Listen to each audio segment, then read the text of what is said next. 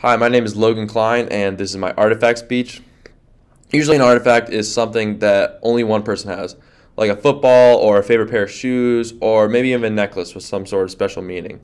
For me, my artifact is my car keys.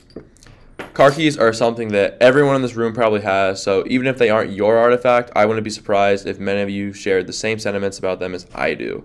For me, my car keys exemplify who I am as a person and my relationship with others. So a few points I want to discuss. First, I want to discuss how my car keys relate to some of my hobbies. Secondly, I wanted to discuss how my car keys represent my more adventurous side. And thirdly, I want to talk about how my car keys remind me of the relationships that I have with others. So to start, my first main point is that car keys give me access to my car. Pretty obvious, but my car is a special place for me, and I do a lot of the things that I love in there.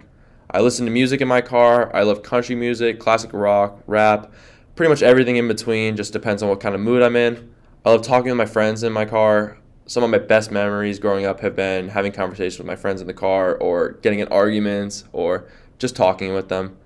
And then I also love just thinking in my car by myself. I feel like you learn about yourself a lot when you're just alone with your thoughts. Furthermore, my second point is that my car keys exemplify my freedom for me.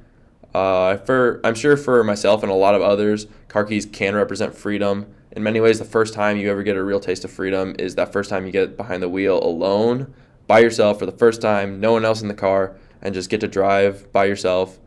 I have a pretty adventurous personality, so I want to go out, see new places, meet new people, and try new things. And I love going on road trips. Uh, just in the last year, with my friends and family, I've gone to Lake of the Ozarks, Florida, Cincinnati, and Chicago.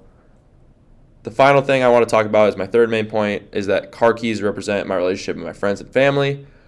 I think we all know that car keys are pretty much useless without a car to unlock or start. A big part of my personality has been shaped by the people that are in my life, my friends and family, and the people that I look up to.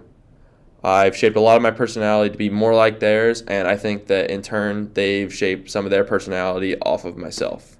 So, to conclude, car keys exemplify my personality in that they relate to my favorite hobbies, remind me of my adventure side, and also represent the relationships that I have with others. Thank you.